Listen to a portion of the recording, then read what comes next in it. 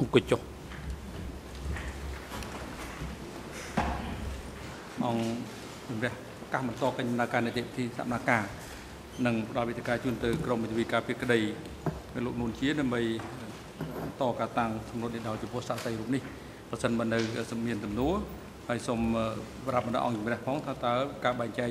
ពេលវេលារវាងគ្រប់ពីមេធាវីការពារក្តីនួនជាជាមួយនឹងក្រមមេធាវីការពារក្តីខៀវសំផនយ៉ាងម៉េចដែរ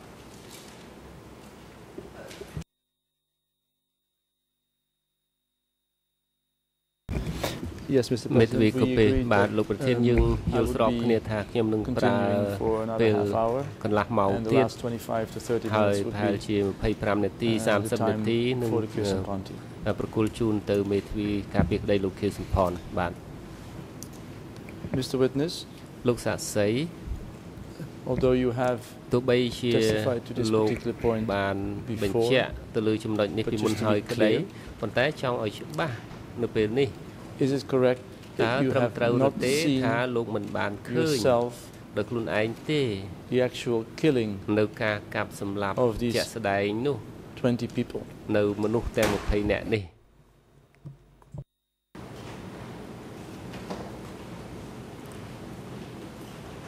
បាទអឺ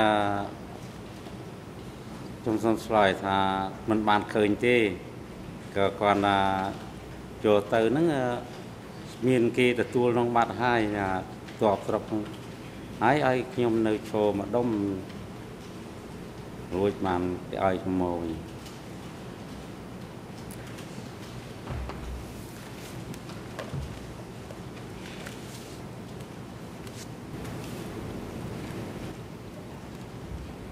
did you in any way សំណួរតើ experience ខ្លួនលោក in the ផ្ days ទាល់តើ after លោកបានដឹងឮ you left these people មួយថ្ងៃពីរថ្ងៃក្រោយមកបន្ទាប់ពីលោក signs ទុក of នៅអ្នកទាំងអស់នោះ possible killings តើលោកដឹង For ឬក៏ instance, អាចនឹងមាន a សញ្ញា smell អ្វីមួយ of ថា dead អ្នក bodies ទាំងនោះអ្នក or ទាំងនោះត្រូវបានសម្លាប់ maybe ឬ the ក៏ sound of ក្លិន bulldozers ឬក៏ឮសំឡេងអឺ Digging សនីអី graves, ជីក something រណ្ដៅ to ឬក៏ that មាន effect. សញ្ញាអ្វីដែលធ្វើឲ្យលោកអាចយល់បានស្តៀងនេះទេបាទអឺអត់ដឹងទេអត់អត់ដឹង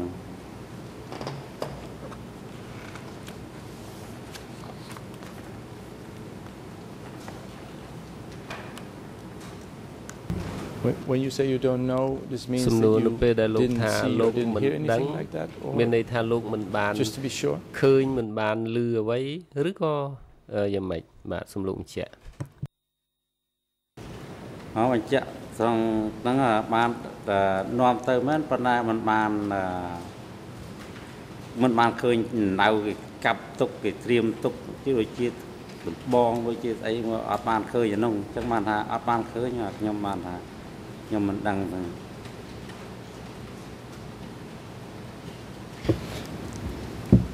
and also Mr. Witness to be សំណួរ clear លោក about សា the ក់សី number ដើម្បីឲ្យច្បាស់អំពីចំ Before the នួន break,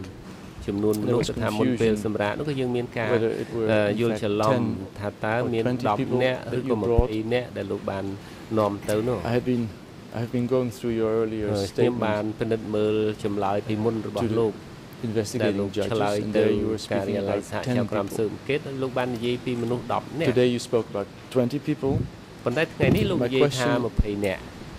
អញ្ចឹង Just ខ្ញុំ to ច be ង់សួរ sure- លោកថាដើម្បីឲ្យប្រកបនោះ how many people តើមានមនុស្ស Did you ប្រមាណ bring អ្នកដែលលោកបាននាំ to this ទៅ particular site កន្លែង10មួយនោះ20 10 maybe more 20ឬក៏លើសពីនឹងបាទអឺខ្ញុំបានជម្រាបលោកពីព្រឹកម្ដងហើយថា ខ្ញុំបាននាំចំនួនមនុស្ស20នាក់មិនមែននាំ10នាក់ទេអឺមានទាំងកូនក្មេងចំនួន5នាក់ទៀតផងក្មេងក្មេងអាចដើររួចដែរ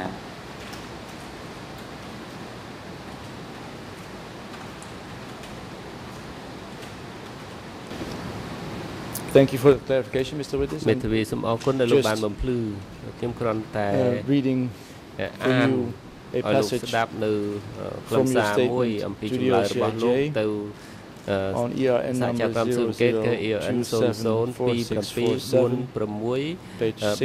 47ទំព័រ first 6 paragraph កថាខណ្ឌទី1 you said, and I quote you លោក literally, when និយាយ people ថា got together, អឺគេ they ប្រ were មូលឲ្យអ្នក divided ទាំងអស់ into នោះ smaller គឺ groups ហើយ of 10 people. គេបែងចែកទៅជាក្រុមមនុស្ស But today 10 you're នាក់ saying- ក្រុមតូចប៉ុន្តែថ្ងៃនេះលោកនិ It was យា a យ group of 20 people. ថាមួយក្រុមនោះគឺថាមានមនុស្ស20នាក់ទៅវិញ សាក់ថៃក្បាលអត់ទាន់ឆ្លើយតបសូមជួយលោកតំណាងថាបញ្ញា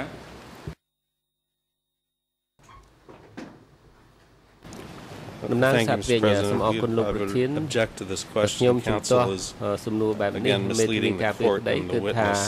បំភាន់ Um, ដល់សាក The សី passage he just read from ខ្លឹមសារដែលគាត់ talked បាន about អាន what នោះគឺ happened និ when យាយ they អំ got to ពី the ថា execution site. ថាតើ that they were មានរឿង divided អ្វី up into groups of កើតឡើង 10 នៅពេល at the ដែលទៅដល់ execution កន្លែង site. សម្លាប់ពេលនោះគឺ Um, គាត់ឆ្លើយថាគេ by leaving out គេ the បែង prior ចែកជា uh, 10 part of នៅ the ចេញពី sentence. ក្រុមនឹង He's ដូច្នេះហើយគាត់ attempting to, to ស្រង់ mislead ចំណុ the ចខ្លី witness in គឺ the ធ្វើឲ្យ court សាកសី to ភ័ន្តច្រ suggesting ឡំ that អ the មពី witness អឺ previously សេចក្តីដ said ក he ស្រង់ only brought 10 ដូច people up ជា to the execution អឺ site. បញ្ជាក់ឲ្យ The សាក witness សី statement does not យ say ល់ថា that. អឺ គាត់បាននាំទៅតែ10នាក់ទៅវិញដូច្នេះ Mr. President, the only thing I សំ can ស្រប say មេ and ធាវី answer ការពារ now, ក្ we'll តី move on to ខ្ញុំ the សូម next question, is that អឺ prosecution បន្ត can ទៅ use the word សំណួរមួយទៀត execution គឺថា as many សូមឲ្យ times as សហ it ប្រញ្ញា wants. កុំ But ប្រើពាក្យថា from this witness, ទី we haven't heard any អឺ testimony សម្រាប់មនុស្ស that គឺថាយើងមិន people ទាន់បានឮ were ពី in fact សាកសី executed. បញ្ជាក់ពីរឿងនឹងថា But nevertheless, I អឺ will move គេ on. សម្លាប់នៅមនុស្សនៅកន្លែងនោះទេប៉ុន្តែ Um, ខ្ញុំសូមបន្តទៅមុខទៀត Mr. Witness, just to លោកសាក speak សី some more ដើម្បីឲ្យ about លោកនិយាយបន្ថែម um, ទៀតអំពី the people that you មនុ refer ស្ស to ដែលលោកបាន as និយាយថា Svai Tram. ជាស្វាយត្រានជាភាសាខ្មែរនោះបាទ Would you be able to explain one more time តើលោកអាចបញ្យល់ what you ម្ដង meant ទៀត when បាន you ទេ were using these អឺ terms ពាក្យ to ថា describe ស្វាយត្រាននោះគឺ that particular group? អឺសំដៅរក ទៅរកក្រុមមនុស្សមួយក្រុមហ្នឹងគឺជាក្រុមមនុស្សអឺបែបណាដែរអឺស្វាយត្រានហ្នឹងអឺជាខ្ញុំជាក្រុមចានេះជាជាលក្ខណៈជាគ្រួសារគាត់ដែលគេធ្វើជាស្វាយត្រានហ្នឹងគាត់អឺតាមខ្ញុំយល់ថាស្វាយត្រានស្វាយត្រាននៅថាជាឆ្លប់ភូមិហ្នឹង នៅប៉ុណ្ណឹង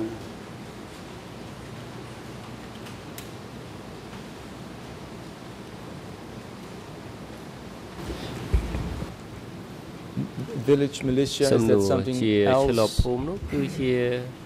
អឺ in your អ្វី recollection ដែល than តាមការចងចាំរបស់ Lon លោកហ្នឹង soldiers គឺ or ថា Lon គឺ officials? ខុសពីទាហានលន់នល់ខុសពីមន្ត្រីលន់នល់ក្រុមហ្នឹងគឺក្រុមផ្សេងទេតែអញ្ចឹងឬឬដូចមិនដេច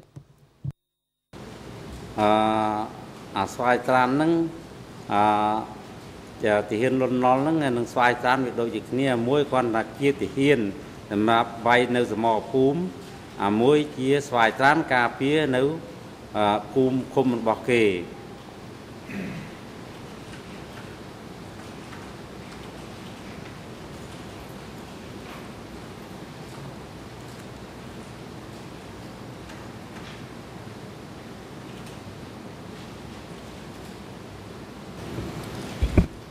did I understand you សំណួរ correctly តាម when you អ្វីដែល said ខ្ញុំយល់ earlier នោះត្រូវ that ដែរឬទេលោកពីមុននោះលោកនិយាយថា um, the group of Lon Nol soldiers ក្រុមពួកទាហានលន់នល់ was a different group and that you គឺ had ជាក្រុម nothing ផ្សេង to do with that and អឺ that they were លោកមិន relocated ចាំបាច់អឺ to another អឺ area. ធ្វើអ្វីទេពីព្រោះពួកហ្នឹងគេបញ្ជូនទៅក្រុមតំបន់ផ្សេងរួចទៅហើយតើខ្ញុំអឺស្ដាប់លោកនិយាយបែបនោះត្រូវដោយដែលលោកអឺឆ្លើយទេ បាទទាហានលន់នល់ហ្នឹងអឺគេបែងចែកថាទាហានលន់នល់ហើយនឹងស្វាយត្រាននេះវាជារួមមើលថាវានៅក្នុងដូចថាក្រុមវាតែមួយទេអាហ្នឹងវាបពពួកវាតែមួយទេស្វាយត្រានហើយនឹងទាហានហ្នឹងវាដូចតែគ្នាទេ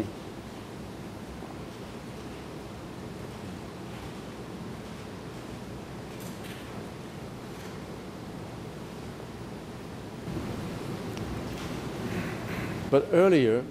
សំណួរប៉ុន្តែ Mr. Witness, you were ពីមុន speaking នោះ about លោកបាន a និយា separate យ group អំ of ពី Lon ក្រុ Nol ម soldiers.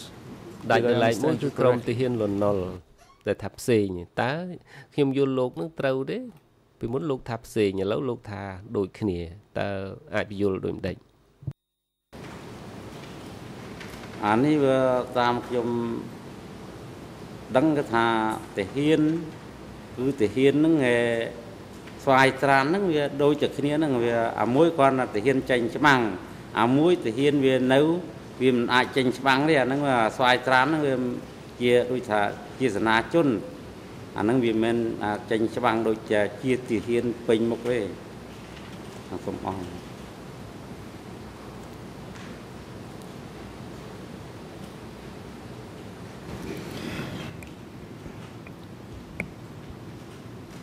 Very well. Then មេធាវី Could you បាទ maybe explain again how the village តើលោក chief អាចពន្យល់ម្ដងទៀត knew បានទេថាតើ that មេភូមិ these- ដឹងដោយរបៀបណាថា around អ្នក20ទាំងអស់ people នេះគឺថាអ្នកទាំង were 20អ្នកនេះ Svai Trang. អឺពិតជាស្វ័យត្រានមែន Did ឬ these មិនមែន people នោះ also write a biography? ឬក៏អ្នក20អ្នកក្នុងក្រុមហ្នឹងគេបានសរសេរក្នុងប្រវត្តិរូបឬដោយរបៀបណាបាទអឺ គេសរសេររួចហើយបានអាគេដឹងរឿងការងារប្រធានភូមិប្រធានភូមិនេះទេសម្រាប់ដឹងតែការងារខ្ញុំនេះអត់វាមិនបានដឹងអីទេ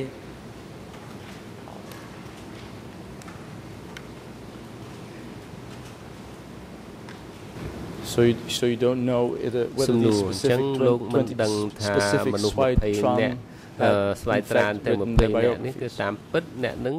មិនបានឬមិនបានសរសេរប្រវត្តិរូបនោះលោកមិនដឹងទេតើអញ្ចឹងឬយ៉ាងម៉េចបាទអាអ្នកដែលអឺ20អ្នកហ្នឹងខ្ញុំមិនបានដឹងថាគេសរសេរប្រវត្តិរូបហើយឬនៅទេប៉ុន្តែគាត់ណាគេឲ្យអឺជូនឲ្យជូនទៅអឺនៅភូមិមួយផ្សេងអញ្ចឹងបានថាខ្ញុំជូនគេទៅនឹងម្ដង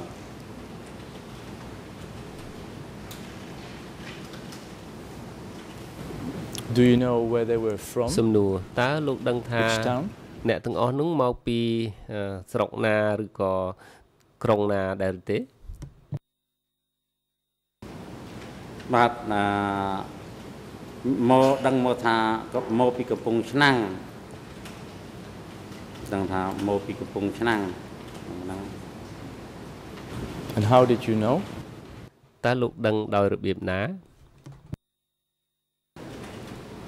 បាទអាដឹងដោយអឺប្រធានភូមិមួយប្រាប់ហ្នឹងហើយ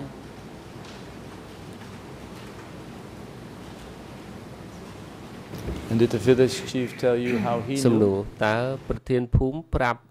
លោកថាគាត់ដឹងនឹងដឹងដោយរបៀបណាទេមហាត់គាត់អាគាត់ប្រាប់ថាឥឡូវឯងនាំអឺប្រហែលអ្នកអឺប្រហែលគ្រួសារនេះអាពួកដល់អា20អ្នកនេះ ទៅឲ្យនៅភូមិផ្សេងហ្នឹងវានៅនឹងវាខ្វះស្តៀងហើយគាត់ថាគាត់ប្រាប់តែអញ្ចឹងទេ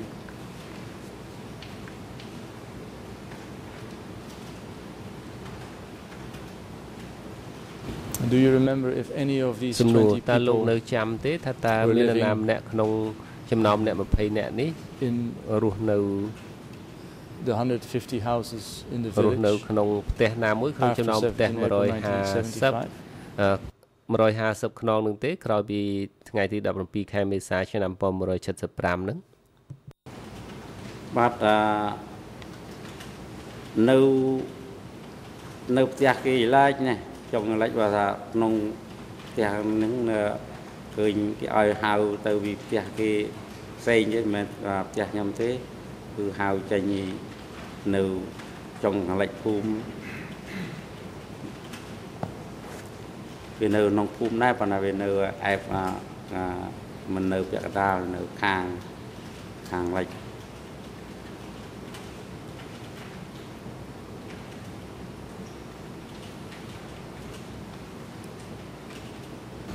Do you remember seeing សំ them ណួរតើលោកនៅចាំថាបានឃើញពួក before គេ you took them as a មុន group ពេលដែលលោកនាំ um, to this ពួកគាត់ទៅ location? ទៅកន្លែងដែលលោកថា Do you នោះទេ remember seeing them walking ធ្លាប់ around បាន in the ឃើ village, ញ for ពួកនឹង instance? អឺពួកគាត់នឹងដើរនៅតាមភូមិនៅកន្លែងណាមួយមុននឹងគេឲ្យលោកជូនពួកអ្នកនឹងទៅទេបាទអឺអត់អត់ឃើញអត់តែឃើញទេ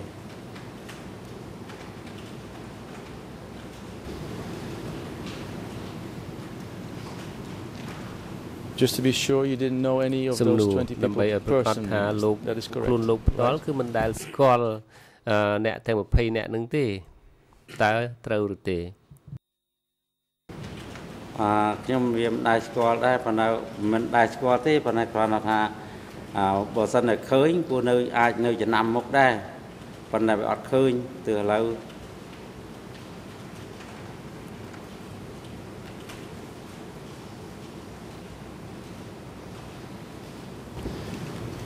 Have you ever been to Kampong សំណួរ Chnam តើលោកធ្លាប់ in the ទៅ years afterwards? អឺកំពង់ឆ្នាំងទេមួយឆ្នាំក្រោយមកបាទអឺខ្ញុំធ្លាប់ទៅ Have you ever an- have you ever seen any of these តើ20 people? ធ្លាប់ in- បានឃើញនរណាម្នាក់កំពង់ក្នុងឆ្នាំងចំណោម20នាក់នឹងនៅខេត្តកំពង់ឆ្នាំងទេពេលដែលលោកទៅបាទអត់ឃើញទេ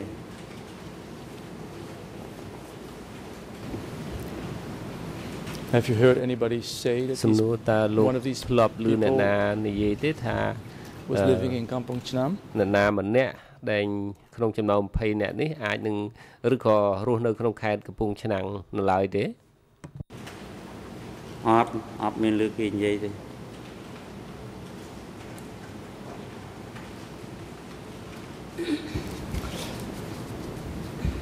Now let me get let let me get back Mr. Witness uh, to read a passage from your statement. ខ្ញុំអានខ្លឹមសារមួយនៅក្នុងចម្លើយរបស់លោកកាលពីមុននោះ page 6 ERN 00274647 that is in document D 125/68 D200 you say the following. 225លើ60 there was an order to kill approximately 100 families in early rainy season in 1975. សម្លាប់មនុស្សមួយចំនួននៅដើមឆ្នាំ1975 The soon to be killed people were told to bring all belonging properties And travel to the execution site by all means, such as by carts or on foot. The សម្រាប់នោះគឺថាអាចតាម destinations were several. All of which was located near the execution site.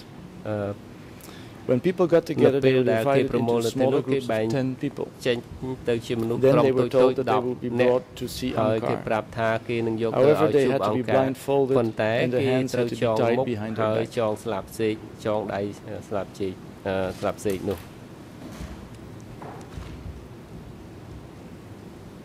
Now, is this something បាទដូច្នេះ that was told to you by others? តើរឿងនេះអ្នកផ្សេងប្រាប់លោក Have you actually ឬក៏លោក witnessed បាន this? ឃើញដោយផ្ទាល់ភ្នែកពីហេតុការណ៍ដែលលោក could you And explain the- this passage in the light សូមលោក of ព your ន្ early យល់អំពី testimony that ខ្លឹ you ម haven't សារ seen anything? ដោយ when it ផ្អែក comes to ទៅលើ executions? អឺអ្វីដែលខ្ញុំសួរលោកហើយលោកថាមិនបានឃើញមិនបានឃើញចុះតែលោកអាចពន្យល់ពីចម្លើយរបស់លោកពីមុននេះដូចម្ដេចបាទសូមលោកពន្យល់បាទអឺខ្ញុំមិនបានឃើញថាគេយកទៅអឺ នោះទេប៉ុន្តែគាត់ថាឮសូវគេថាហ្នឹង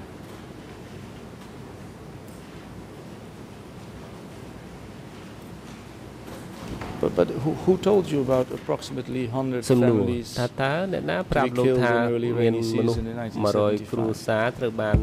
គេយកទៅសម្លាប់នៅដើមឆ្នាំ1975នោះ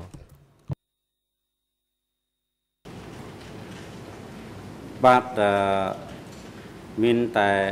ប្រធានភូមិហ្នឹងទេវាគេប្រាប់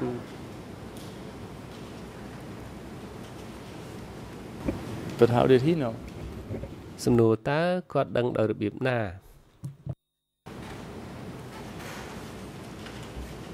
អឺគាត់ដឹងដោយសារតែគាត់អឺជាមេភូមិបានគាត់ដឹង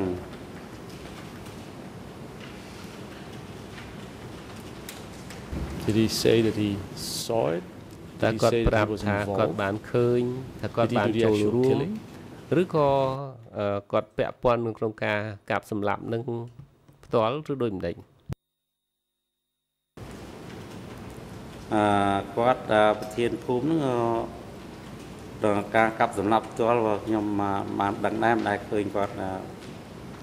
ទៅសម្លាប់ទេគឺប្រធានភូមិហ្នឹង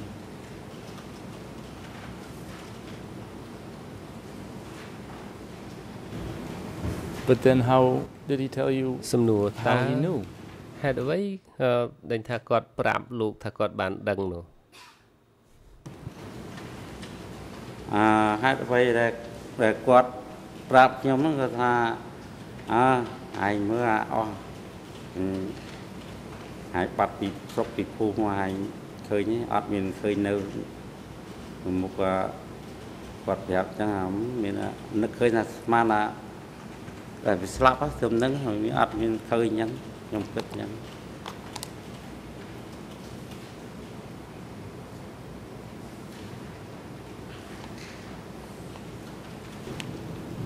But you just testified that they សំណួរប៉ុន្តែលោក left to បាន be ឆ្លើយ re- ថា relocated in another village. អឺមគេប្រាប់មេភូមិប្រាប់លោកថាឲ្យយកទៅនៅភូមិផ្សេង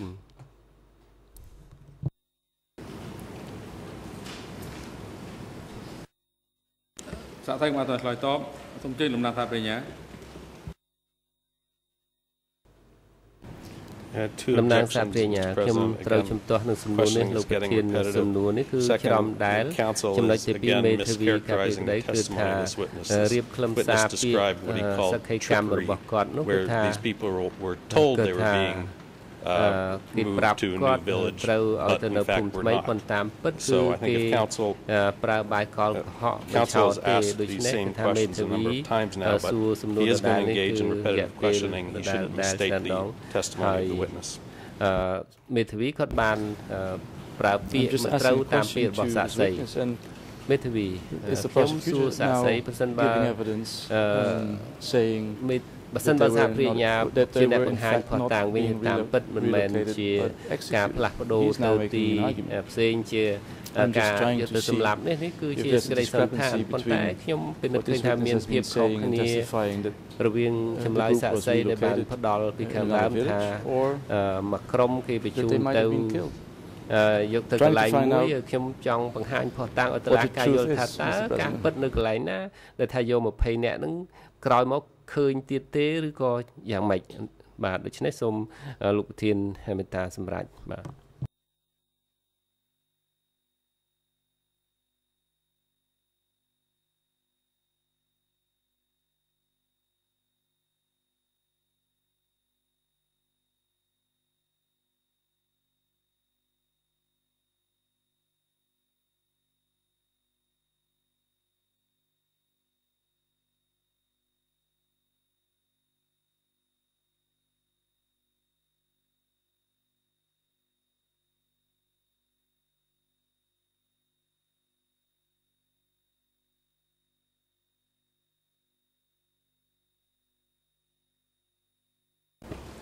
បាទក្តីជំទាស់នឹងតំអាងហេតុនៃជំទាស់របស់អឺក្រមតំណាងសហប្រញ្ញាចំពោះសំណួរ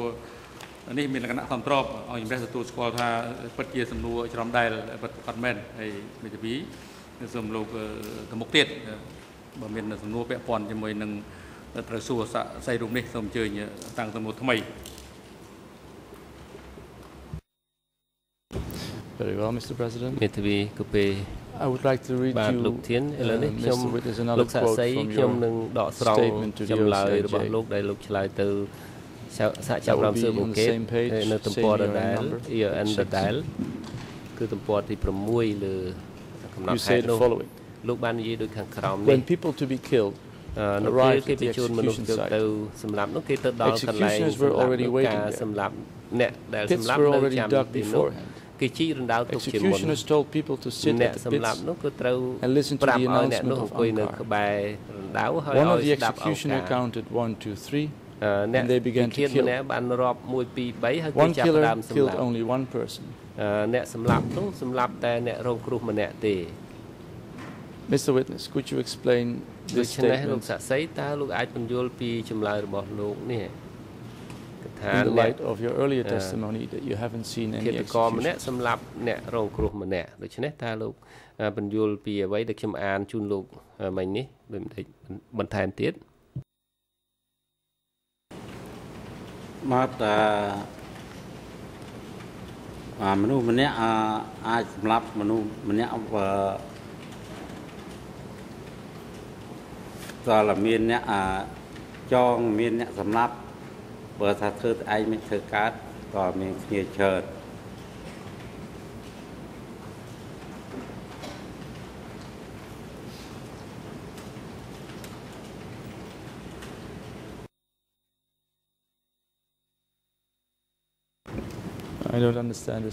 មេធាវីខ្ញុំមិនយល់ពីចម្លើយរបស់លោកទេលោកសាស្ត្រី I read your passage ខ្ញុំអាន from ខ្លឹ your មសារ statement ដែលលោកបានឆ្លើយនោះជា in ចម្ which លើយ it របស់ says លោក that you ដែល see និយាយ with your ថាលោក own បាន eyes ឃើញដោយខ្លួន people ឯ being ងផ្ទាល់ executed. ថាគេសម្លាប់ Today, មនុស្សនោះប៉ុន្តែ in your ថ្ងៃនេះ testimony, អឺ you're ស saying ក្ខី you កម្ម never របស់ saw such a លោក thing. នោះក៏លោកថាមិនដែលបានឃើញនៅផ្ទាល់ភ្នែកទេ Now, which of the two តើចម្លើយ Is ណា the មួយ case? ដែលត្រឹមត្រូវដែលលោកត្រូវប្រកាន់យកនោះអឺចម្លើយ អានឹងដូចថាមួយវគ្គបន្តិចណាសូមអធិស្ឋានមកកន្លែងឆ្លើយមិនឃើញ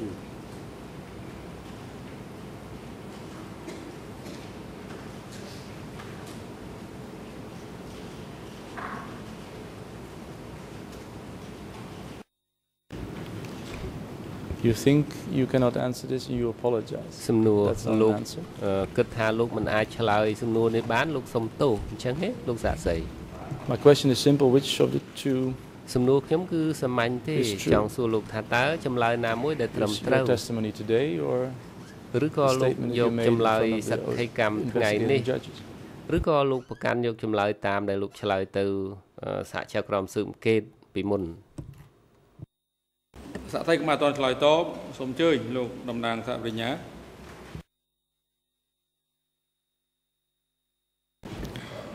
តំណាង Sorry សហ to គ្រាស be ញ្ញា on my feet សូមអភ័យ again, ទោសដែល uh, ខ្ញុំ Mr. ក្រោក President. ឡើងម្ដងទៀតនេះ If counsel លោក is ប្រធាន going to គឺ put ថា a មេធា question, វី he should be ទំនង more ជាសួរ specific. សំណួរ The passage he ទៅ just ជា read លក្ខគឺផ្នែកដែលគាត់ First of អាន all, នោះគឺ uh, it doesn't ដំបូងនោះ indicate គឺថាมัน it បាន was ច all ង្អុល based បង្ហាញ on ថា um, អឺ eyewitness information. The witnesses described some of this earlier. uh, if counsel wants to put a specific part of this statement to the witness uh, uh, to seek his clarification. um,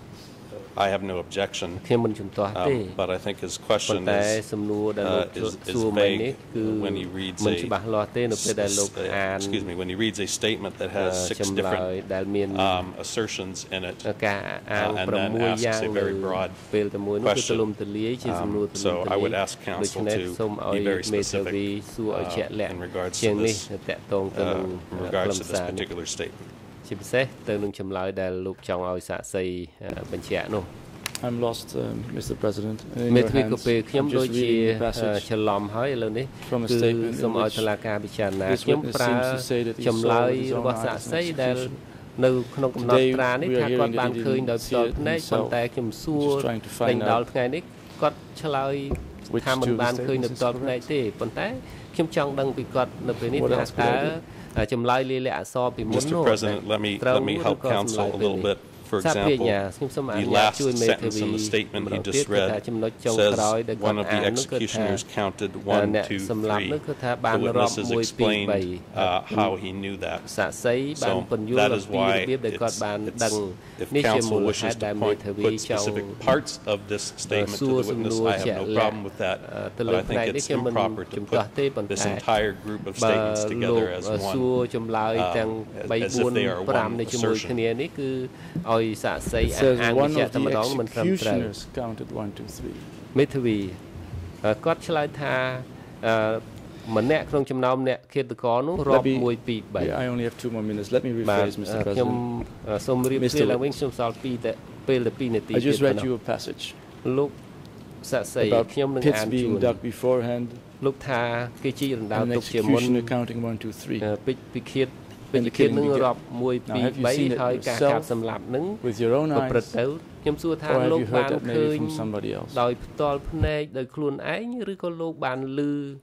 Or are you Being making at it the up, day. Mr. Witness? ថាតើលោកអាចនឹងបានចម្លើយនឹងអឺតាមរបៀបណាបាទលោកសាក់សីបាទអឺខ្ញុំបានដឹងថាខ្ញុំនៅក្បែរនោះដែរបើថាឮសូរថា1 2 3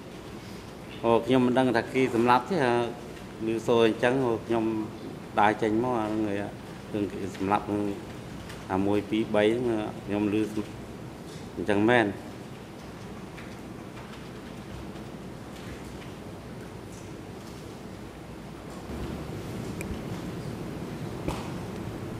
But was it an executioner who was counting one, សំ two, ណួ three, រ or was it តើ just អ្នកណា somebody ជា who was អ្នក counting រាប់ one, two, three? 1 2 3តើ ពេជ្រឃាតនោះអ្នករាប់ឬក៏អ្នកណាលោកដឹងទេពេលនោះបាទអឺមានតែពេជ្រគៀតទេដែលរាប់1 2 3នោះរឿងថាឲ្យនរណាសេករាប់នោះអត់នរណាសេកកើតទេ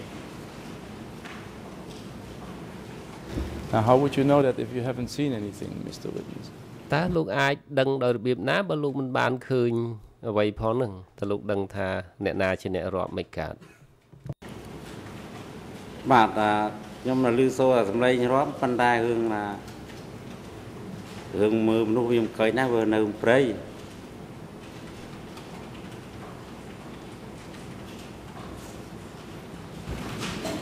Maybe it was somebody សំណួរអាចនឹងមានអ្នកផ្សេង giving an instruction that people អាច should walk នឹង one, ណែ two, នាំ three. ថាឲ្យ Could ដើ that រ be the case 1 too? 2 3ឬក៏យ៉ាងម៉េចបាទតែលោកសន្និដ្ឋានដូចមិនដេចបើគ្រាន់ឮសំឡេងអញ្ចឹងលោក អាចបញ្ជាក់អ្វីបាន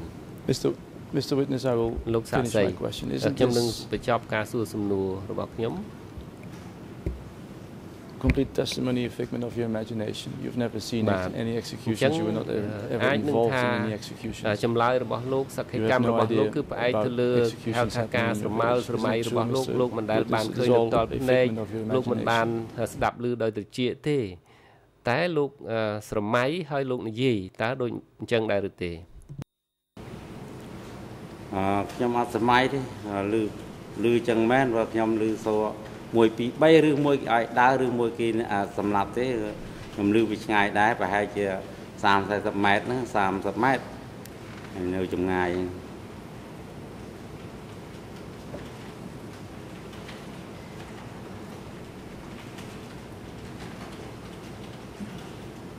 Let me put it differently. មេធាវីខ្ញុំនឹងសួរមួយយ៉ាងទៀតម្យ៉ាងសួរលោក That ផ្ there ទាល់ were no executions. មិនមានការកាប់ You សម្លាប់ទេ weren't a witness to any of those executions in the weeks after 17 April លោកមិនដែលបាន 75. ឃើញការកាប់សម្លាប់ណាទេក្រោយពីមួយអាទិត្យពីអាទិត្យក្រោយពីខែមេសាឆ្នាំ1975តើលោកឆ្លើយដូចម្ដេច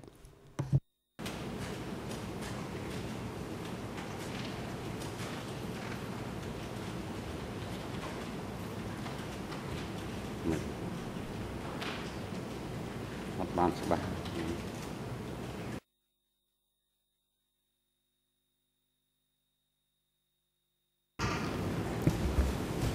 For the very last time, Mr. Witness, I am មេ putting ធា it វី to ហើយចុ you ងក្រោយខ្ញុំសួរលោកផ្ទាល់លោកសាក់សី that you were not witness to any លោកមិនបាន executions ឃើញ in ការ the, កាប់ in សម្ the លាប់ weeks after 17ក្នុង April មួយសប្តាហ៍ 75. ពីរសប្តាហ៍ក្រោយពីខែមេសាឆ្នាំ So true. 1975ថ្ងៃទី12មេសា75តើត្រូវដែរឬទេ អត់ស្អីក៏មកអត់ទាន់ឆ្លើយតបសូមអញ្ជើញលោកតំណាងថាបញ្ញា Uh, តំណាង Mr. សាពេ President, ញ្ញា if លោកប្រធាន council is មេធាវី asking, ការពារក្តី simply ស asking ួ the រ witness សំ to ណួរ confirm ឲ្យ whether សា he កសី personally បញ្ saw ជាក់ the ថា killings. គាត់បានឃើញដោយ I ផ្ទាល់ have no ភ្នែក problem with that. ខ្ញុំមិនមាន If he's បញ្ហា asking- ទេ if ប៉ុ he's ន្តែបើ making គាត់ a សួរ argument here គាត់ធ្វើ about តលហេ whether ក the ល witness's នេះថាតើ testimony, សាកសី uh, supports the fact that executions occurred, then I would have a rather large problem with his putting it to the witness that his testimony does not establish that there were executions. But if his question is simply intended to confirm that the witness did personally not see the killings, I, I have no objection. That we have established, Mr. President, and my, my final question is, isn't it true, Mr. Witness, there weren't in fact any executions in the weeks after 17ការ 75? កាប់សម្លាប់ដោយខ្លួនគាត់ផ្ទាល់ទេក្រោយពីថ្ងៃទី17ខែមេសាឆ្នាំ1975នោះដូច្នេះសូមអឺតុលាការពិចារណាឲ្យគាត់ឆ្លើយបាទសាក់សីអឺស្ដីជំទាស់របស់តំណាងថាបញ្ញាសំស្របហើយសាក់សីមិនឆ្លើយតបទេទំនួលនេះហើយគួរចប់ទៅលោកមេធាវីអឺអស់ពេលហើយ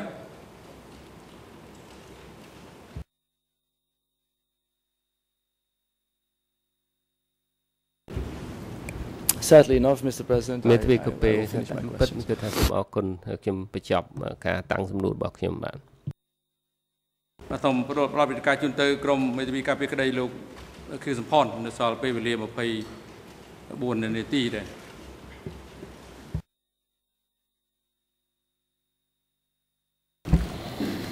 Merci pour euh, ce décompte très précis, Monsieur le Président. បាទសូមអរគុណលោកប្រធានដែលផ្ដល់ Monsieur le ពេលវេលា témoin, ដល់ je បាទនេះតើខ្ញុំ J'ai quelques questions de suivi à vous poser. Euh, ce sera très bref et je pense que je ne dépasserai pas les 24 minutes qui sont imparties. Tout à l'heure, euh, vous avez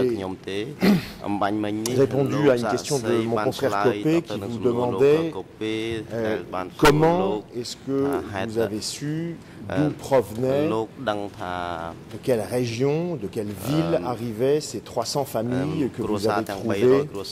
un jour installées dans votre village Et vous avez répondu que euh, votre père avait discuté avec ces gens qui lui avaient dit qu'ils venaient de Kampong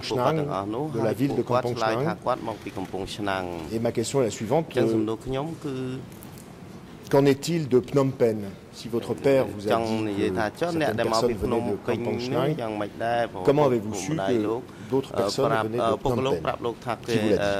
ប្រជាជនទាំងអស់នោះមកពីកំពង់ឆ្នាំងចុះអ្នកដែលមកពីភ្នំពេញវិញនោះវាយ៉ាងម៉េចដែរ បាទអឺអ្នកមកកំពង់ឆ្នាំងវាអាចនៅអឺជាប់ព្រមផ្ទះខ្ញុំអឺ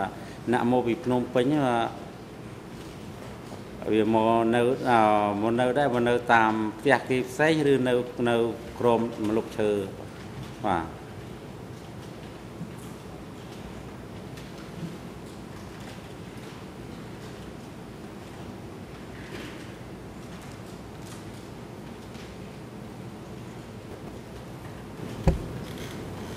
Et pouvez-vous répondre à ma question qui consistait à vous បាទសំ demander ណួរ comment បាញ់ vous avez su មិញសួរថាតើ que លោក ces ដឹង autres ថា personnes អ្នកផ្សេង venaient de ទៀត Phnom នោះ Penh មកពីភ្នំពេញតាមរបៀបណាលោកដឹងតាមរបៀបណាអ្នកដែលមកពីភ្នំពេញ អឺអ្នកចេញមកពីខាងភ្នំពេញអឺគឺមកពីអឺផ្លូវវាខុសគ្នាអាមួយមកពីកំពង់ឆ្នាំងមកពី មកពីកើតអានឹងមកពីភ្នំពេញចេញពីកំពង់ស្ពឺទៅអឺចូលទៅខាងកំពង់ឆ្នាំងអានឹងបានថាអ្នកភ្នំពេញមកផ្សេងអាអ្នកកំពង់ឆ្នាំងគឺមកផ្សេងប៉ុន្តែមកនៅក្នុងស្រុកក្នុងឃុំហ្នឹងវាវាច្រើនណាស់មិនមែនថា3 4 10គ្រួសារវាច្រើនហ្នឹ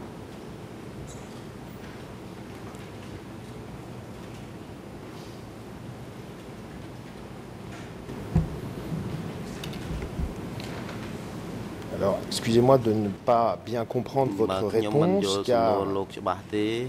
début de l'interrogatoire de cet après-midi, répondant aux premières questions de mon confrère Copé, vous avez indiqué que lorsque vous avez vu les 300 familles installées dans votre village, elles étaient déjà toutes là, installées dans le village. Maintenant, je vous demande Comment ខ្ញុំ saviez-vous que សួរ certaines de ces ថា familles តើលោកដឹងថាគ្រួ venaient សារ de មួយចំ Phnom នួ Penh នដែលមកពីភ្នំ Et vous ពេញ m'expliquez que មក elles venaient de Dans- Phnom Penh dans- parce qu'elles dans- étaient passées par des Vietnam. trajets différents. ហើយលោកឆ្លើយមិញមិញ Comment និយាយថា savez-vous ដឹង que ថាមកភ្នំពេញពួកគេមកតាមផ្លូវផ្សេងៗ Certaines des គ្នា familles qui étaient installées dans votre Euh, village tiens, venaient de tiens, Phnom Penh. គឺសំណួរខ្ញុំគ្រាន់តែចង់ដឹងថាតើលោកដឹងថាគេមកពីភ្នំពេញណាគ្រួសារមួយចំនួនមកពីក្រុងភ្នំពេញនោះតាមរបៀបណាចង់សួរតែប៉ុណ្្នឹងទេអឺ មកពីភ្នំពេញហ្នឹងឮទៅដល់ហ្នឹងឯងថាអឺមានអ្នកនៅភ្នំពេញខ្លះដែលគេនៅក្នុងភូមិហ្នឹងដែលតាមឮប្រធានភូមិថាមានអ្នកភ្នំពេញក៏មកនឹងដែរមានអ្នកអាកំពង់ឆ្នាំងក៏មកនឹងដែរបានខ្ញុំដឹងតែតាមរយៈហ្នឹង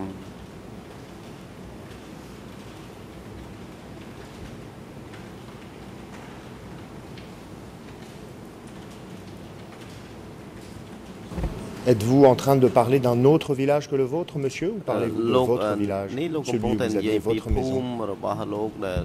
លោកមានផ្ទះនៅក្នុងភូមិហ្នឹងឬក៏លោកនិយាយអំពីភូមិមួយផ្សេងទៀតទេបាទអឺខ្ញុំនិយាយពីរឿងថានៅក្នុងភូមិខ្ញុំហ្នឹងទេដែលខ្ញុំដឹងនៅក្នុងភូមិទេអាភូមិគេផ្សេងទៀតក៏ខ្ញុំមិនដឹងទេ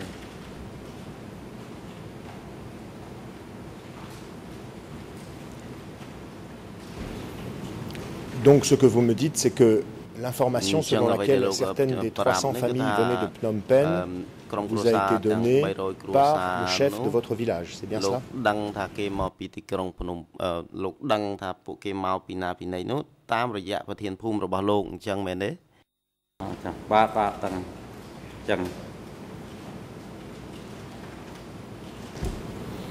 Et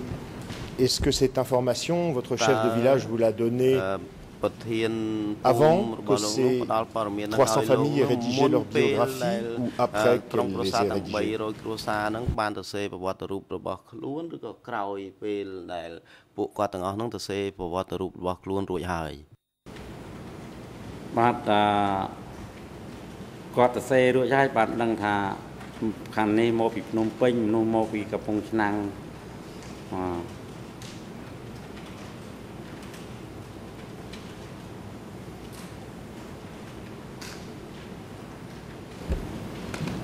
Combien de temps s'est écoulé entre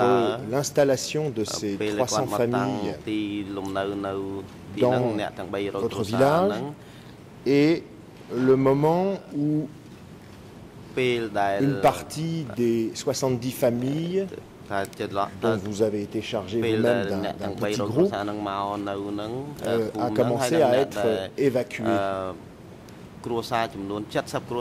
Combien de temps s'est écoulé, par exemple, entre l'arrivée des 300 familles et l'épisode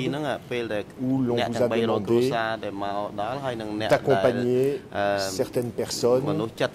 10 ou 20, vers un nouveau village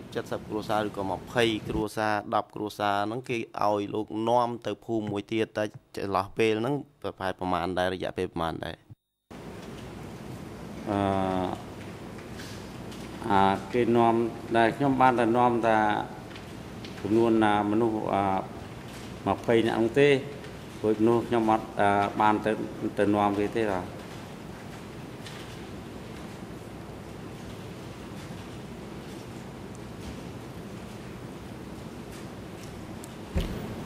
Oui, oui, je suis d'accord, mais ma question porte បាទខ្ញុំ sur យ la ល់ période qui s'est យល់ប៉ុន្តែ écoulée សំណួរខ្ញុំចង់ដឹង entre ពីរយៈពេល l'arrivée de ចន្ ces លោះ 300 familles ពេលដែលថាក្រុម et គ្រួសារទាំង300គ្រួសារហ្នឹងមកដល់ l'épisode où vous ហើយនឹង accompagnez 20 ពេល personnes. ដែលលោកអឺ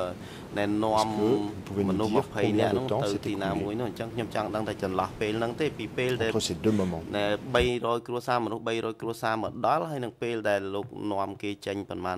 ណែ20នាក់ឬក៏20គ្រួសារហ្នឹងចេញទៅ ជាចន្លោះហ្នឹងបរិយៈពេលប្រហែលបាទអឺចន្លោះហ្នឹងប្រហែលជាមក3ថ្ងៃបានគេឲ្យនាំឲ្យខ្ញុំនាំគេទៅអាមុននោះគេនាំទៅមុនអស់ខ្លះទៅប៉ុន្តែនៅក្រោយហ្នឹងអាចំនួន20នាក់ហ្នឹងបានឲ្យខ្ញុំនាំ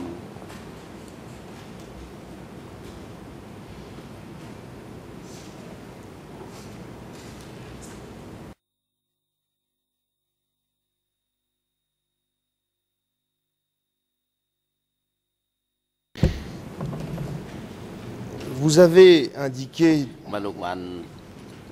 que vous aviez constaté l'arrivée de 300 familles dans votre village et ce matin, vous avez indiqué que 300 familles, que dans une famille, pardon, il fallait compter à peu près une moyenne de 5 individus. Il y a donc environ 1500 personnes qui sont installées dans votre village. Il y a bien sûr probablement des enfants parmi eux, j'imagine. Vous en d'ailleurs parlé. Mais ces gens vont devoir rédiger des biographies, vous l'avez expliqué. Imaginons que deux tiers d'entre eux soient amenés à faire des biographies, par exemple. Ça fait quand même 1000 biographies. Et vous nous dites qu'en trois jours, le chef de village avait eu le temps d'examiner les mille biographies de ces personnes et de décider lesquelles devaient être évacuées. C'est bien cela, monsieur, votre témoignage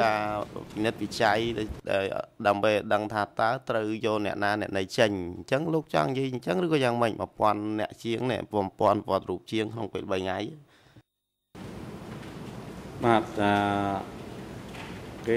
បើថាបញ្ចេញអាក្នុងមួយថ្ងៃហ្នឹងវាចេញវាមិនអស់ហើយគេចេញអាពីភូមិហ្នឹងឲ្យទៅនៅភូមិផ្សេងផ្សេងហ្នឹងអាម្ដង10គ្រួសារអញ្ចឹងម្ដង10អា20គ្រួសារអញ្ចឹងទៅហើយបញ្ចេញបន្តបន្ត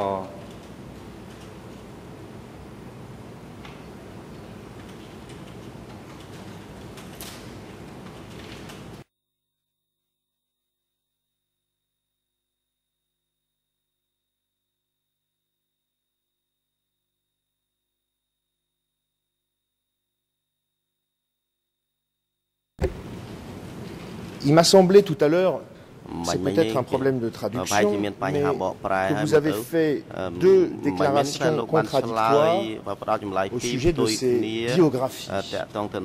J'ai pris des notes pendant que vous répondiez aux questions de mon confrère Copé et celui-ci vous a demandé la chose suivante, il vous a posé cette question, je cite, Personne ne vous a dit comment vérifier les biographies. Et à ce moment-là, vous avez répondu, en tout cas c'est ce qu'on a traduit dans mes écouteurs en français, on m'a dit de vérifier les informations dans la biographie elle-même. C'était la seule manière de vérifier. Si quelqu'un disait être paysan, il était placé avec le groupe des paysans. Fin de citation. Ensuite, un peu plus loin, vous dites on ne m'a jamais demandé de vérifier les biographies, car j'avais d'autres tâches. Alors, je, je voudrais vous demander de clarifier, monsieur, est-ce que, oui ou non, vous avez travaillé sur le contenu de ce millier de biographies qui... Euh, ខ្លឹមសារ ont ប្រវ été ត្តិរូប rédigées par ជាង euh, ces 1000 personnes qui se sont នេះដែរ installées dans ទេ votre village. រ Avez-vous បងអ្នកដែល travaillé ម sur ក ces biographies នៅក្នុងភូមិលោកនេះ d'une manière ou d'une autre Avez-vous ចឹ fait ង des ខ្ញុំចង់ឲ្យលោក vérifications បញ្ជាក់ quelles តែ qu'elles ប៉ុណ្ណឹង soient ថាលោកមានបានផ្ទៀងផ្ទាត់អឺលើប្រវត្តិរូបទាំងជាង1000ហ្នឹងទេអឺបាទបើខ្ញុំមិនបានផ្ទៀងផ្ទាត់បញ្ជីទេព្រោះអីអាភារកិច្ចហ្នឹងវាខុសគ្នាអាភារកិច្ចអាកម្មាវិបាលផ្សេងអាភារកិច្ចអាអា ឆ្លប់នោះផ្សេងអត់មានអាពាក់ព័ន្ធអីជាមួយគ្នាអត់មានអីខ្ញុំមិនដែលបានត្រួតពិនិត្យអីចឹងផ្ទាល់ទេអត់ទេ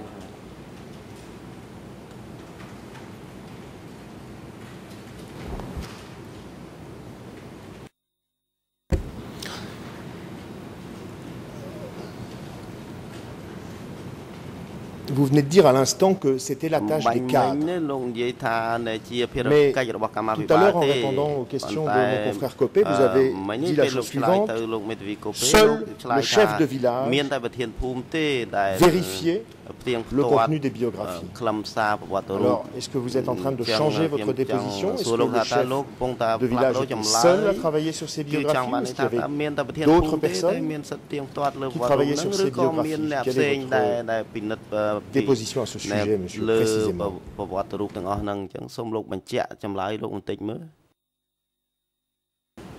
បាទអឺខ្ញុំបញ្ជាក់ទៅបន្តិចអឺបើពិនិត្យលើវត្តរូបហ្នឹងវាមានប្រធានភូមិមានអាកម្មាវិបាលគុំថ្នាក់ស្រុកថ្នាក់គុំថ្នាក់ស្រុកហ្នឹងភូមិហ្នឹងវាពិភាក្សាគ្នាហ្នឹងបានគេពិនិត្យវត្តរូបមិនមែនថាប្រធានភូមិតែមួយទេ គឺមានកម្មាវិបាលថ្នាក់គុំថ្នាក់ស្រុកហ្នឹងដែរ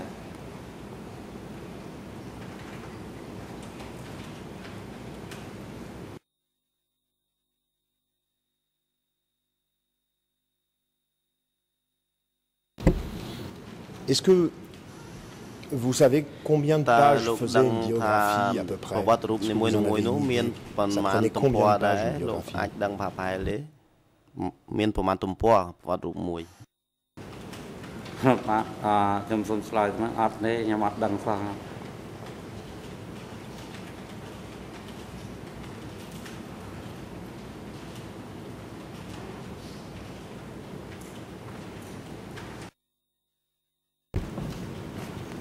Comment est-ce que en trois jours តើក្នុង Le រយៈ chef ពេល de village 3ថ្ងៃនេះ et les autres cadres ប្រធាន qui ភូមិហើយនិង travaillaient កម្មវិ avec បាល lui ផ្សេងៗទៀតដែលធ្វើការជាមួយគា a ត់ pu អឺអាច évaluer អឺវាយតម្លៃ enquêter, ឬក៏ vérifier អឺ le contenu អឺផ្ទៀងផ្ទាត់ des biographies ខ្លឹមសារប្រវត្តិរូប des 70 familles dont vous nous dites qu'elles seront évacuées de មនុស្ស votre ទាំង village Comment est-ce possible de faire un tel travail en trois jours Rédiger les biographies, les lire, les vérifier. Le savez-vous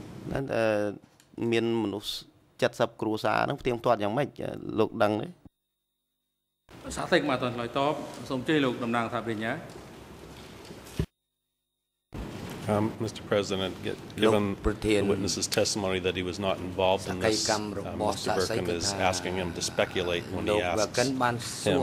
to provide a statement about how the village and the cadres who did this, how they were able to do it. He's asking the witness to speculate.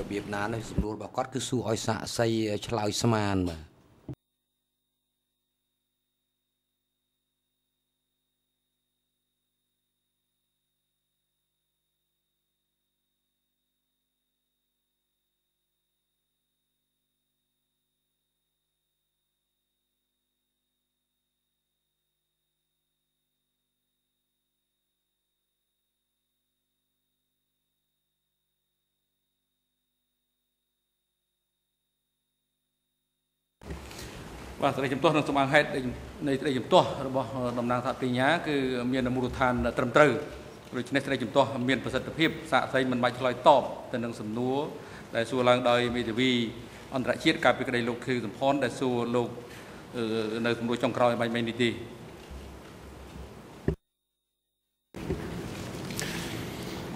Il y a quelques minutes, euh, je vous demandais combien de temps s'était écoulé entre l'arrivée des 300 familles dans votre village et le moment où vous êtes chargé d'en accompagner une vingtaine dans un nouveau village, et vous m'avez répondu trois jours. Il y a environ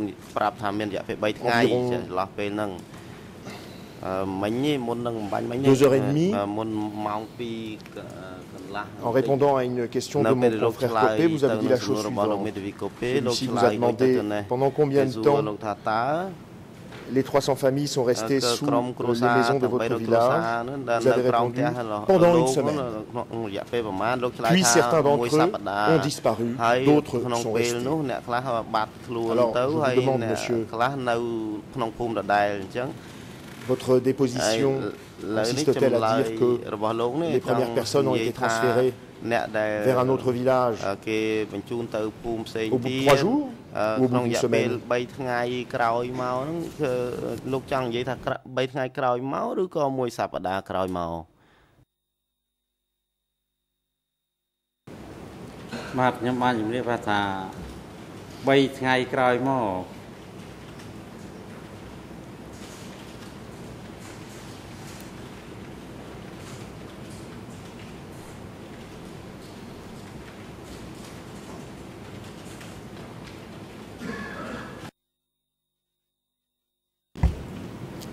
Pour terminer, je voudrais vous demander un éclaircissement sur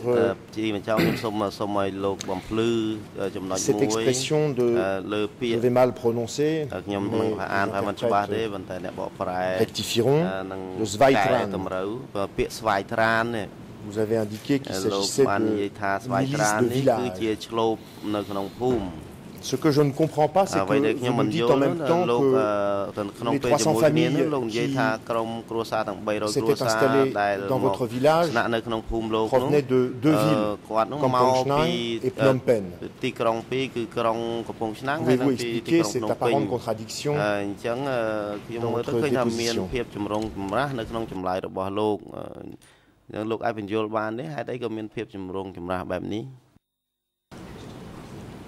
អាស្វាយត្រាមហ្នឹងគេថា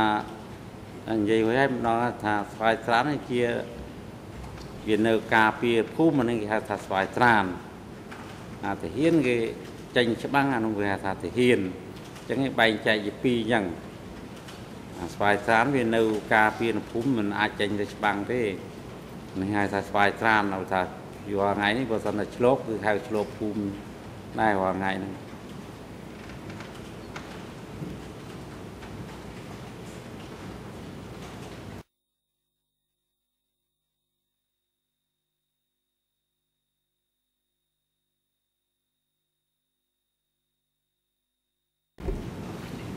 Et Et à cette époque, il y avait des Zweitran dans les villes ហើយកាលសម័យនោះនៅតាមក្រុងនោះមានស្វាយត្រានឬក៏យ៉ាងម៉េច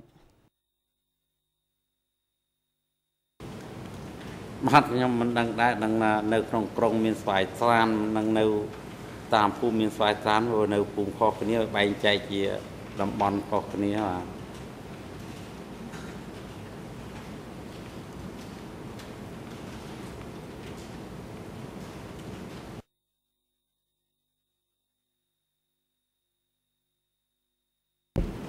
Enfin, pour terminer, mon confrère euh, Victor Copé vous a demandé si...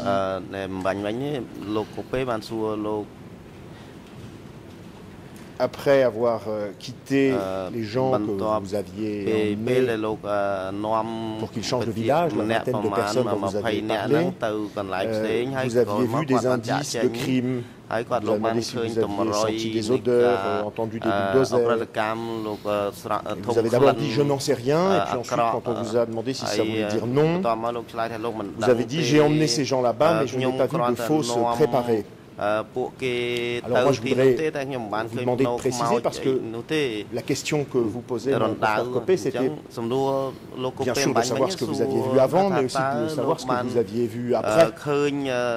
រណ្ដៅសាកសពទាំងអស់នោះមុនពេលទៅដល់កន្លែងនោះឬក៏ Est-ce que vous avez entendu des bulldozers ou senti des odeurs លោកមានបាន constaté quelques indices que ce soit de crime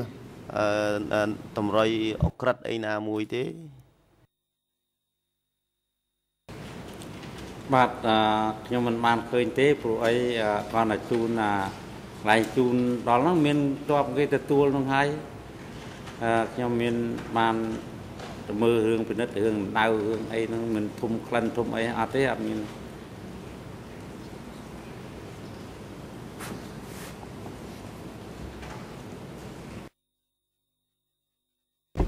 Et après ចុះក្រោយមកទៀត les mois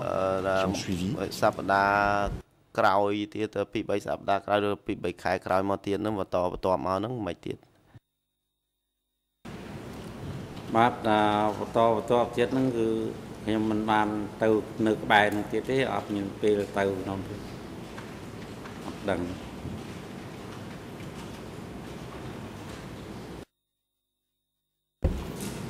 J'en ai terminé, Monsieur le Président. លោកប្រធានខ្ញុំសួរចប់ហើយលោកប្រធានសូមអរគុណបាទអរគុណលោកមិត្តវីលោកលេវឡាំការស្ដាប់សកម្មរបស់លោករហូតដល់ពេលនេះបានចប់ហើយវត្តមានរបស់លោកនៅអបតកនេះលែងមានភាពចាំបាច់ទៀតហើយអង្គជំរះសូមអរគុណចំពោះលោកដែលបានលះបង់ពេលវេលាដ៏មានតម្លៃមកប្រតិកម្មនៅចំពោះមុខអង្គជំរះក្នុងរយៈពេលមួយថ្ងៃកន្លងមកនេះដោយភាពអត់ធ្មត់ ខិតខំប្រឹងប្រែងអស់ពីសមត្ថភាពនិងលទ្ធភាពរបស់ខ្លួនសក្តិបលោកនឹងអាចរួមវិភាគទានក្នុងការស្វែងរកការពិតនឹងរឿងដីនេះសូមជូនពរលោកជួបតែសំណាងល្អមានសុខភាពល្អបានសេចក្តីសុខសេចក្តីចម្រើនសម្រាប់ការនៅថ្ងៃនេះដល់ពេលសម្រាប់ហើយឲ្យមានប្រកាសផ្អាកកិច្ចដំណើរការសមការសម្រាប់ថ្ងៃនេះត្រឹមនេះសមការលើកទៅបន្តធ្វើនៅថ្ងៃស្អែកថ្ងៃពុធទី3ខែកក្កដាឆ្នាំ2013ចាប់ផ្ដើមពីម៉ោង9ព្រឹក សម្ដែងការនៅថ្ងៃស្អែកនេះអង្គជំរះនឹងធ្វើសម្ដែងការស្ដាប់សកម្មសាក់សីដែលមានរសនាម TCW 689សូមភាគីនៃរឿងក្តីបុគ្គលិកគ្រប់គ្រងកិច្ចដំណើរការសម្ដែងការនៃអង្គជំនុំជម្រះរដ្ឋដំបងនិងសាធារណជនជ្រាប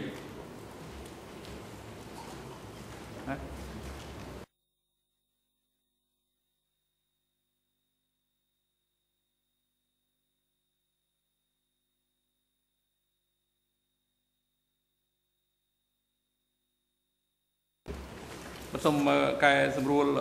បន្តិចវិញនិយាយថាលំដាប់ហ្នឹងគឺសាក់សីដែលមានថាធានាម TC 164ទេដោយព្រឹកមិញក្លាមជីមានការរាយការណ៍មិនត្រឹមត្រូវ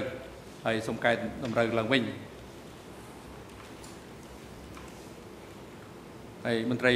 រដ្ឋបាលតុលាការរំដំណួលជាមួយនឹងមន្ត្រីនៃអង្គភាពកុម្ពីសាក់សីនិងអ្នកជំនាញក្នុងការជូនលោកលេវឡាំបើត្រឡប់ទៅកាន់ ទីកន្លែងដែលជាគោលដៅនៃគាត់បំណងចង់ទៅឬក៏ទៅកាន់លំនៅឋានគាត់គាត់បញ្ចុះហើយដូចគ្នានេះដែរសូមជូនសាក់សីបំរុងត្រឡប់ទៅកាន់ទីកន្លែងដែលគាត់ស្នាក់នៅហើយនឹងឲ្យនាំគាត់ត្រឡប់មកប្រតិកម្មកម្មដែលចំពោះមុខអង្គជំរះឡាដំបងនេះវិញនៅថ្ងៃស្អែកបានមុនម៉ោង9ព្រឹកហើយប្រកបដោយអនុរិយមន្ត្រីឃុំឃាំងនាំខ្លួនជនជាប់ចោតទៅពីររូបគឺលោកលួនជានិងលោកខៀវសំផនត្រឡប់ទៅកាន់មន្ទីរឃុំឃាំងនៃអវតកវិញចុះ និងប្រកបឲ្យនាំខ្លួនបុគ្គលទៅពីររូបមកចូលរួមសកម្មភាពនេះវិញនៅព្រឹកថ្ងៃស្អែកបានមុនម៉ោង9ដែលឡែកលោកនួនជាប្រកបឲ្យនាំខ្លួនមិននៅត្រឹមបន្ទប់ឃុំខ្លួនខាងក្រោមដែលមានរៀបចំនៅឧបករណ៍សោះទោះសម្រាប់គាត់អាចចូលរួមនៅតាមដានកិច្ចដំណើរការសកម្មភាពពីចម្ងាយសម្រាប់ចុះ